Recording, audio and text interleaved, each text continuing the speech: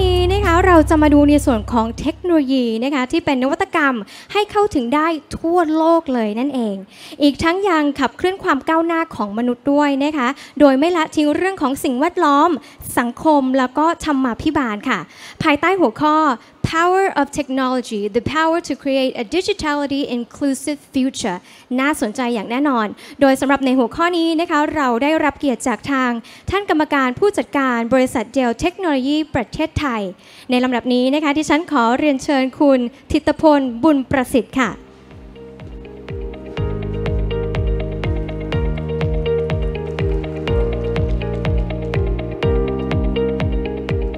สวัสดีครับ ก็ ขออนุญาตเป็นตัวแทนจากบริษัท Dell Technology นะครับขึ้นมาบรรยายหัวข้อเกี่ยวกับเรื่อง sustainability นะครับซึ่งจริงๆแล้วเนี่ยเป็นเเรียกว่าเป็น corporate direction ของทาง Dell Technology เองนะครับที่พยายามผลักดันนะครับเพื่อที่ให้เเกิดภาพรวมนะฮะแก่สังคมที่ดีนะครับในไม่ไม่ใช่แค่ในประเทศไทยนะครับแต่หมายถึงทั้งโลกนะครับนะฮะก็เรามอง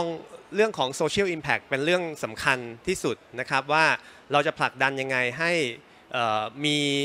โซเชียลที่ดีนะครับมีสังคมที่ดีนะครับในโลกนี้นะฮะซึ่งปัจจุบันเนี่ยเดลเองเนี่ยเรามีพันธกิจนะครับที่สำคัญอันหนึ่งนะครับโดยที่เรามีการเขียนพันธกิจไว้ว่า we create technologies that drive human progress นะครับก็คือเราพยายามสร้างเทคโนโลยีเพื่อที่ให้เกิดการพัฒนา อย่างต่อเนื่องให้กับมนุษยชาตินะครับนะฮะทั้งโลกนะครับไม่ใช่แค่ประเทศไทยนะฮะทีนี้เราพยายามมองว่าสิ่งที่เราทำอยู่เนี่ยนะครับมันจับต้องได้ไหมนะครับแล้วก็สร้างเป็นแคมเปญขึ้นมา ซึ่งเราเรียกแคมเปญนี้ว่า progress made real นะครับซึ่งเราเราก็จะมีตัวชี้วัดต่างๆนะฮะเพื่อที่ให้เราเรียกว่ามองภาพความก้าวหน้าของเราเนี่ย สะท้อนออกมาได้อย่างชัดเจนนะครับใน progress made real ตรงนี้เนี่ยเราจะแบ่งออกมาเป็น 3 คอหลักๆนะครับคอแรกนะฮะเราเรียกว่า advancing sustainability นะครับซึ่งมันหมายถึงการสร้างสมดุลนะครับของโลกอย่างยั่งยืนนะครับคอที่2นะครับเราเรียกว่า cultivating inclusion นะครับซึ่งเรามองมองเรื่องนี้เป็นการบ่มเพาะเมล็ดพันธุ์มนุษย์นะครับ ให้มีความเท่าเทียมกันนะครับ ยกตัวอย่างอย่างง่าย ๆ ก็คือว่าเรามีความตั้งใจที่จะให้ผู้บริหารของบริษัท Dell Technology เนี่ยเป็นผู้หญิงเป็นสุภาพสตรีนะฮะให้ถึง 40%ของ management ทั้งหมดนะครับซึ่งตอนนี้ก็มีอยู่ประมาณ 23%นะครับเรื่องที่3นะครับ transforming life นะฮะซึ่งตรงนี้เนี่ย เป็นสิ่งหนึ่งที่ทางไมเคิลเดลนะครับซึ่งเป็น CEO ของบริษัท Dell Technology เนี่ยต้องการนะครับคืออยากจะทำช่วยให้ผู้ที่มีความยากไร้นะครับได้มีโอกาสเข้าถึงเทคโนโลยีนะฮะโดยเฉพาะเทคโนโลยีที่เขาเป็นคนพัฒนาขึ้นมานะครับแล้วก็สุดท้ายนะครับสุดท้ายก็คือเรื่องของเอธิกกับ privacy นะครับเนื่องจากว่า Dell Technology เนี่ยเป็นบริษัทที่มีการ contact ลูกค้า partner นะครับเเยอะนะครับ เราเก็บ database นะฮะตั้งแต่เริ่มต้นบริษัทเมื่อสัก 30 ปีที่แล้วนะครับ เราก็ยังยึดถือว่า database เหล่านี้เนี่ยเราจะเก็บให้มีความ privacy ที่สุดนะครับ มีความปลอดภัยที่สุดนะฮะด้วยเบื้องหลังของ Dell Technology ที่เราพัฒนาขึ้นมานะครับ ทีนี้ไมเคิลเดลเองนะฮะ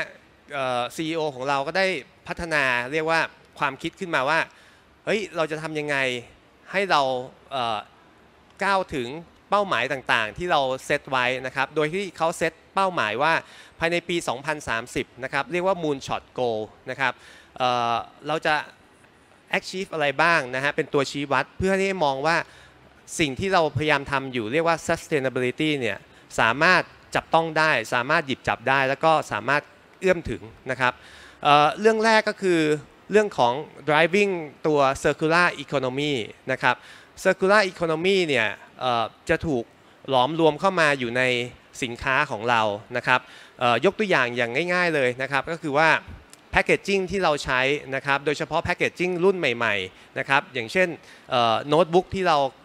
กำลัง launch ออกมาเนี่ยนะครับ packaging เนี่ยจะเป็น กระดาษรีไซเคิลทั้งหมดนะครับร้อยเปอร์เซ็นต์นะครับก่อนหน้านี้ก็มีการพัฒนาขึ้นมาเรื่อยๆนะครับซึ่งเเนื่องจากว่าเทคโนโลยีมันปรับปรุงขึ้นมาเรื่อยๆ ใช่ไหมครับ มันก็จะมีเปอร์เซนเทจของของการพัฒนาแพคเกจจิ้งต่างๆนะครับเเรื่องที่2นะครับ equity and equality matter นะครับอย่างที่ผมเรียนให้ทราบเมื่อกี้แล้วนะครับว่า เราพยายามมองทุกคนมีความเท่าเทียมกันทั้งหมดนะครับไม่ว่าจะเป็นผู้หญิงนะฮะหรือว่าผู้ชายนะครับไม่ว่าจะเป็นเพศอะไร ไม่ว่าจะมีความความรสนิยมแบบไหน คือเรามองทวิตทุกคนเท่ากันหมดนะครับไม่ว่าจะเป็นผิวสีแบบไหนนะครับตรงนี้เนี่ยถูกหลอมรวมเข้ามาแล้วก็ถูกพัฒนาความคิดต่างๆ ให้กับพนักงานของของ Dell Technology เองนะครับ อย่าง management ทุกท่านของ Dell Technology เองเนี่ยเราก็จะมีการเทรนนะครับเราเรียกว่า Mark Training นะครับเอ่อ Mark Training เนี่ยก็คือจะเป็นการเทรนให้ทุกคนมี attitude ที่เหมือนกันก็คืออจะไม่มีการดูถูก จะไม่มีการเเรียกว่าเขาเรียกว่าอะไรการแนะกระแหนเบื้องหลังของกันและกันนะครับ ก็คือจะพยายามให้ทุกคนเท่าเท่าเทียมกันทั้งหมดนะครับ อันที่3นะฮะ transforming life นะครับก็คือทาง Michael Dell พยายามตั้งเป้าว่าจะทำยังไงให้ 1,000 ล้านคนทั่วโลกเข้าถึงเทคโนโลยีนะฮะนะฮะก็จะมีการพัฒนาในแง่ของความรู้นะครับจะมีการการพัฒนาในแง่ของการมีโอกาสที่จะเข้าถึงเทคโนโลยีโดยเฉพาะในพื้นที่ห่างไกลนะครับ แล้วก็สุดท้ายก็คือเรื่องของ transparency ของออข้อมูลต่าง นะครับ ตรงนี้คือตัวชี้วัดที่เเกิดขึ้นในในแผนการเอ่อ2030 Moonshot Go ของเรานะครับ ว่าใน Product ของเราเนี่ยนะฮะจะต้อง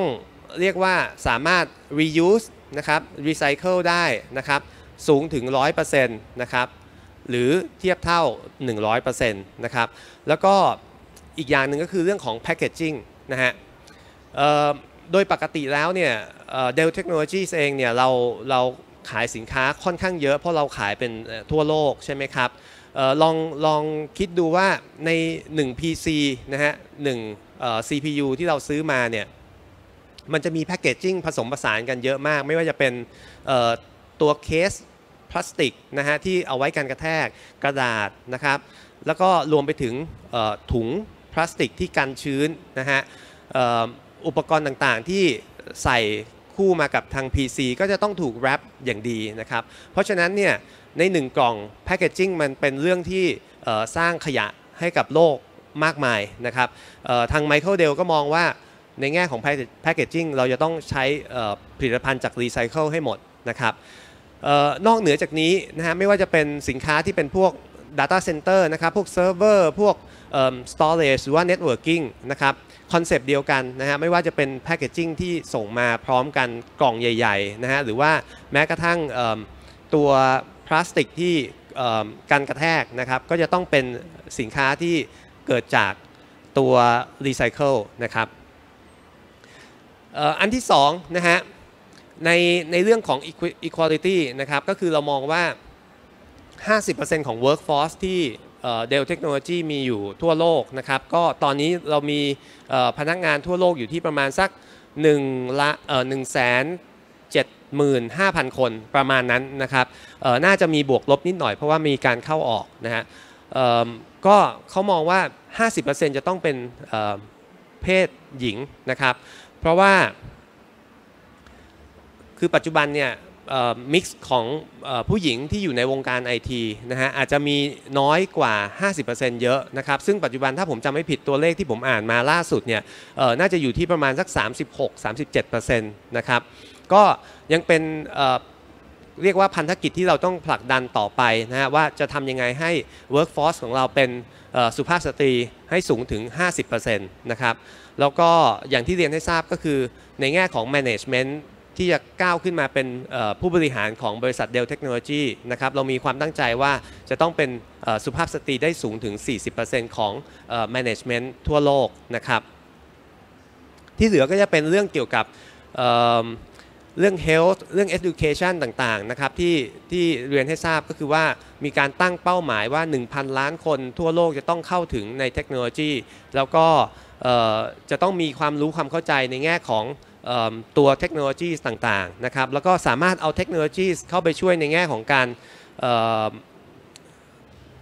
รักษาสุขภาพร่างกายนะฮะหรือว่าแม้กระทั่งการดูแลนะครับ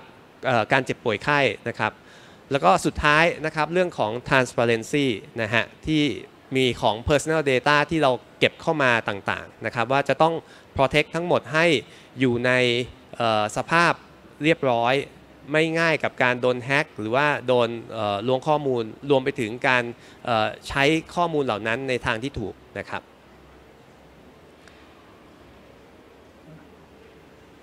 ก็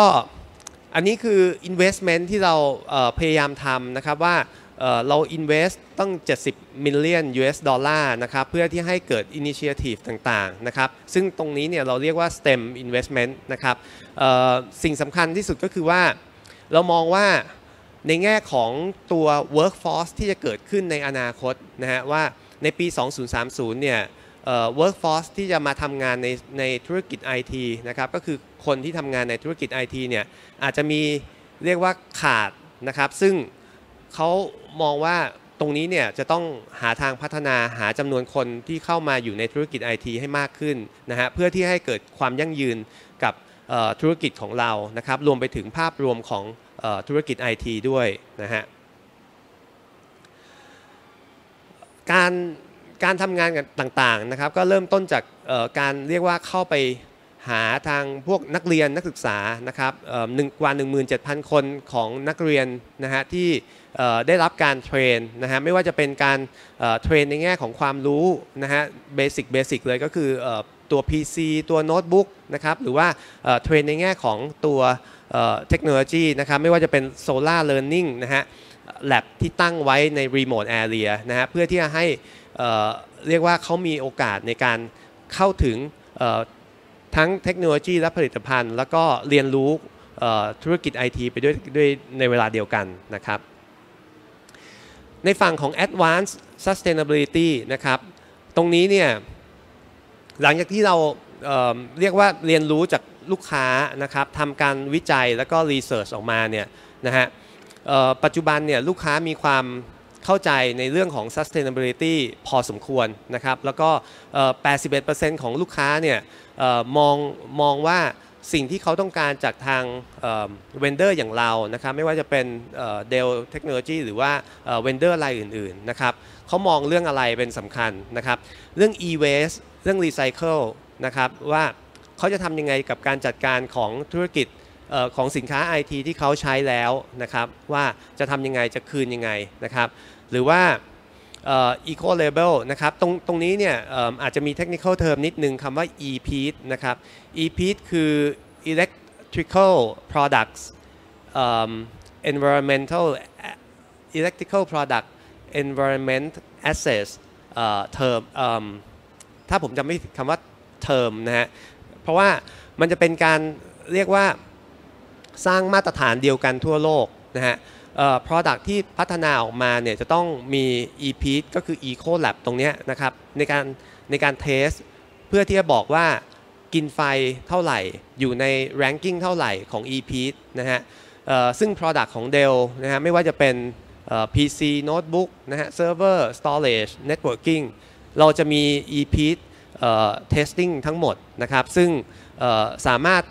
ให้ลูกค้า เปิดดูได้นะครับว่าตัวนี้มีมี EP เอ่อ ranking ที่เท่าไหร่นะครับเพื่อที่จะทำการ benchmark ว่าเอาไปใช้งานแล้วสามารถประหยัดพลังงานได้จริงหรือเปล่านะครับเรื่องของ packaging นะครับ packaging ผมก็อธิบายไปคร่าวๆแล้วว่า packaging เป็นเรื่องสำคัญ เพราะว่ามันมีมีอุปกรณ์สิ้นเปลืองหรือว่าแพคเกจจิ้งต่างๆ ที่ซื้อมาแล้วก็ต้องใช้ ไม่ได้ใช้แล้วก็โยนทิ้งนะครับ ซึ่งตรงนี้เราก็มองว่าต้องใช้ผลิตภัณฑ์ที่เป็นรีไซเคิลทั้งหมดนะฮะ human right นะฮะเรื่องของอสิทธิมนุษยชนนะครับแล้วก็เรื่องของ recycle content ใน device นะครับก็คือว่าในตัวสินค้าของเรานะฮะมันควรจะมี content ว่าตัวนี้เนี่ยประหยัดพลังงานเท่าไหร่นะครับสามารถรีไซเคิลได้ไหม หรือว่า ใช้ material ในการรีไซเคิลขึ้นมาพัฒนาเป็นตัวของสินค้ากี่เปอร์เซ็นต์นะครับซึ่งเหล่านี้นะฮะเป็นความต้องการของลูกค้าที่เกิดขึ้นณปัจจุบันนะครับที่เราเซอร์เวยขึ้นมานะครับในส่วนหนึ่งนะครับซึ่งทางทางลูกค้าเริ่มที่จะ Request เข้ามาแล้ว ก็คือเรื่องของคาร์บอนฟู t พิ้นนะครับ เรื่องของ climate นะฮะซึ่งประเทศไทยอาจจะมีเรื่องเรื่องของ climate ค่อนข้างน้อย แต่เริ่มที่จะพูดถึงเรื่องคาร์บอนฟู t พิ้นมากขึ้นมากขึ้นนะครับ แล้วก็รวมไปถึงตัว Data Center นะฮะซึ่งปัจจุบันเนี่ย Data Center ที่เกิดขึ้นในประเทศไทยนะครับ ก็มีหลาย Data Center นะครับแล้วก็ทุกครั้งที่มีการพิจารณาการสร้าง Data Center นะครับตัวตัวเรียกว่าอัตราการกินไฟจะเป็น เป็นอันดับต้นๆที่เขามีการพิจารณาเกิดขึ้นนะครับ ในฝั่งที่เป็น ในฝั่งที่เป็นคอนะฮะเป็นเป็นเอ่อเป็น action ที่เราทำอยู่นะครับเรื่องของ ของ climate change เนี่ยมันมันเป็นพันธกิจที่ใหญ่นะครับก็คือเราก็พยายามผลักดันในสิ่งต่างๆที่ทำได้นะครับในขอบข่ายที่เราสามารถทำได้ ไม่ว่าจะเป็นการประหยัดพลังงาน การพัฒนาผลิตภัณฑ์ที่ใช้รีไซเคิลนะครับการเรียกว่าทำรีไซเคิลตัว Product ของเรานะฮะหรือว่า refurbish ตัว Product ของเราเพื่อที่ให้เกิดการใช้ให้น้อยลงนะครับรวมไปถึงเอ่อ circular economy ก็คือ การนำกลับไปใช้ใหม่หรือการนำไปสร้างขึ้นเป็นผลิตภัณฑ์ใหม่ขึ้นมานะครับ แล้วก็สุดท้ายก็คือเรื่องของออตัวคนนะครับตัวตัวบุคคลที่พัฒนาผลิตภัณฑ์หรือว่าสร้างสร้างแนวร่วมในการสร้างเอ่อทีม IT ขึ้นมาใหม่ๆนะครับ ตรงนี้ผมขอข้ามก็แล้วกันเพราะว่ามันเป็นเป็นเท็ก เป็นตัวหนังสือค่อนข้างเยอะนะครับ แต่คร่าวๆง่ายๆก็คือว่าเเราเรามีเรื่อง climate action strategy ออกมานะครับ โดยที่มีแพทเทิร์นออกมาว่าการที่จะทำยังไงให้มันเกิดผลนะครับยกตัวอย่างเช่นการสร้าง Product ที่เป็นพยายามทำให้เป็น Net Zero นะครับในช่วงระหว่างที่ในช่วงระหว่างที่ มูลช็อตโกที่เราเซตไว้นะครับนะฮะรวมไปถึงตัว Product ต่างๆนะครับจะทำยังไงให้ให้ Product ของเรานะฮะฟิตกับ Business Model ที่ทางลูกค้ามีนะครับแล้วก็สุดท้ายก็คือเรื่องของ decarbonize ของ society นะครับก็คือหลังจากที่ใช้ผลิตภัณฑ์ของเราแล้วเนี่ยจะทำให้ภาพรวมของของอสังคมนะฮะหรือว่า environment นะฮะมันดูดีขึ้นยังไงนะครับ ในตัวของ carbon footprint นะครับสำหรับตัว Dell เองนะฮะมันก็จะมี scope ของของของตัวสินค้านะครับว่า scope 1 scope 2 scope 3ซึ่งแบ่งกันเป็นเลเวลต่างๆนะครับในในตัวที่เป็นแกนหลักๆเลยก็คือ scope 3นะครับก็คือเอ่อในฝั่งที่เป็น Product นะครับว่ามัน generate carbon footprint อยู่เท่าไหร่นะครับซึ่งมันเป็นสัดส่วนที่ค่อนข้างเยอะนะครับแล้วก็ลองลงมาจะเป็นเเรื่องเกี่ยวกับโลจิสติกนะฮะแล้วก็เรื่อง supply chain นะครับนะฮะเอ่อ good and services นะครับแล้วก็ในการเดินทางต่างๆ ของพนักงานที่จะไปพบปะผู้คนนะครับนะฮะแล้วก็ที่เหลือก็จะเป็น ธุรกิจที่เป็นทั้งในแง่ของ direct และ indirect ของเรานะครับนะฮะเพราะฉะนั้นเราได้มีการ track พฤติกรรมนะฮะแล้วก็ operation ต่างๆ ที่เรามีอยู่นะฮะเพื่อที่ให้ให้เกิดความชัดเจนในแง่ของการ create carbon footprint เกิดขึ้นนะครับนะฮะ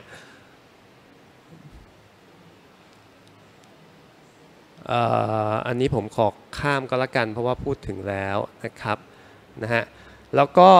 อันนี้คืออลูกค้าที่เราทำงานร่วมกันในแง่ของการพัฒนานะครับไม่ว่าจะเป็นเรื่องของ sustainability นะครับว่ามีโปรเจกต์ร่วมกันนะฮะแล้วก็ทำให้มันเกิดผลต่างๆนะครับ อันนี้เป็น สิ่งที่จับต้องได้นะฮะแล้วก็เกิดขึ้นชัดเจนนะครับในแง่ของ Solar Community นะฮะที่เกิดขึ้นในน่าจะเป็นประเทศที่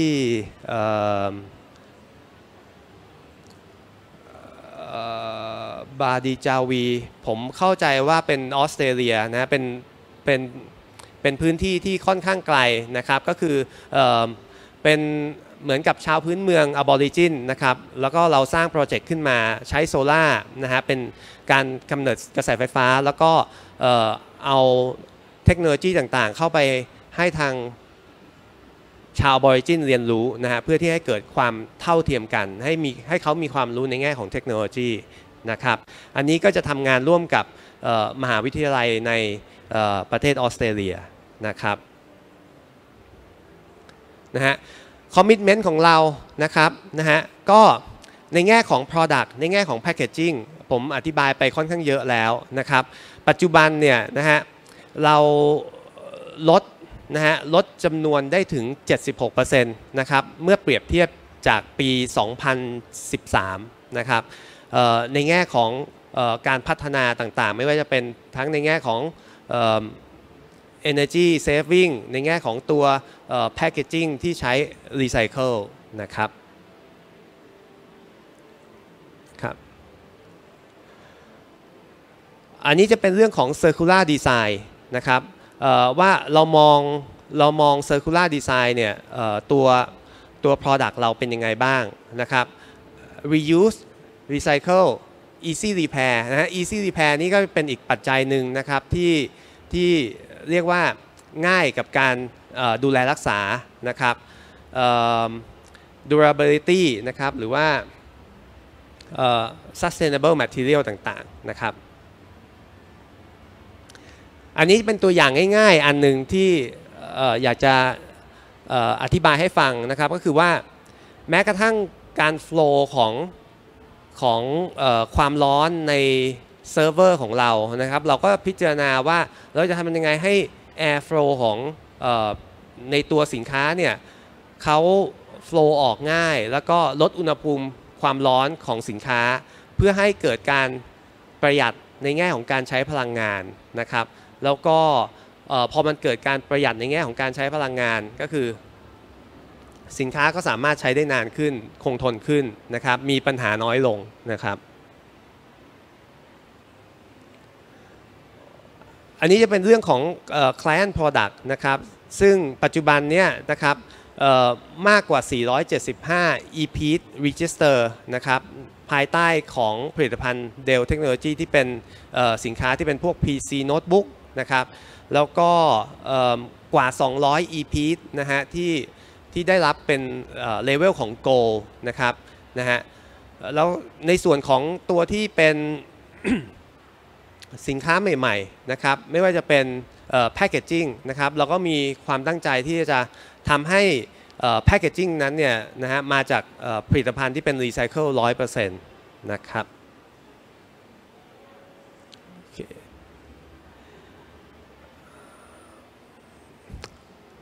โอเค ก็อันนี้คือพันธกิจใหญ่นะครับมูลช็อตโกที่ที่ผมอธิบายไปก่อนหน้านี้ก็คือ ในแง่ของปี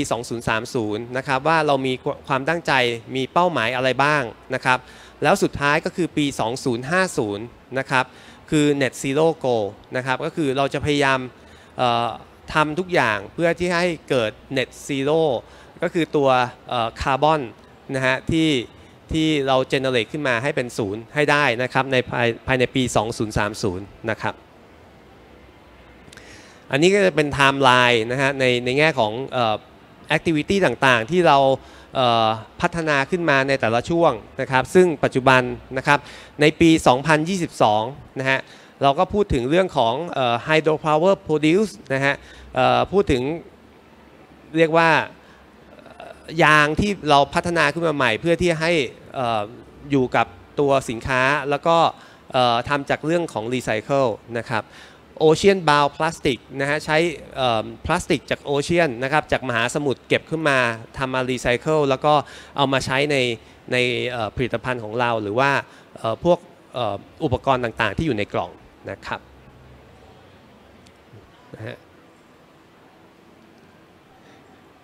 นะครับอันนี้จะเป็นเรื่องของตัว Product นะครับซึ่ง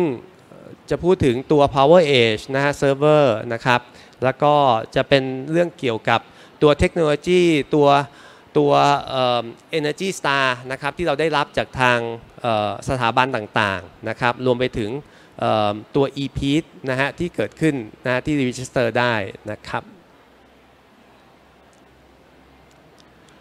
ผมขอข้ามเร็วๆก็แล้วกันนะครับ ก็คือ สุดท้ายนะฮะในในตัวอย่างอันหนึงนะครับ ก็เราทำงานร่วมกับ AIDS Healthcare Foundation ของ US นะฮะเพื่อที่จะให้เกิดการ sustainability ให้มากขึ้นนะครับ ยกตัวอย่างอย่างเช่น footprint นะครับ ก็คือตัว carbon footprint เนี่ยเราสามารถลดได้ถึงเอ่อแปดโอ้โทษทีนะฮะ 88%นะครับเเพราะว่าการการที่เราเอาตัว สินค้าของเรานะฮะเข้าไปใส่ใน rack เอ่อ storage ของเขานะครับเขาสามารถลด